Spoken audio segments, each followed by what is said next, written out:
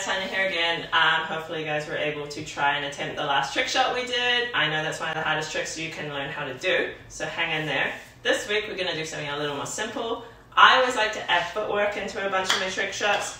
This is probably one of the easiest kicks that I know. So I'm gonna give you a couple of tips on how you might be able to do it yourself. So one, if you're right-footed and right-handed, you have that wedge in your right hand, you wanna take your left foot over the front of your right leg and you wanna kick up from here. Now note that you actually have to flex your foot too to make it flat because you want that ball bouncing straight back up, you don't want it bouncing somewhere else.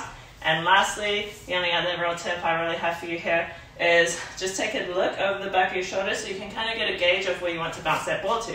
And if you do that, it should look as simple as that. So hopefully that helps you guys. Uh, make sure you tag Ping Tour if you want to do any attempts and play your best.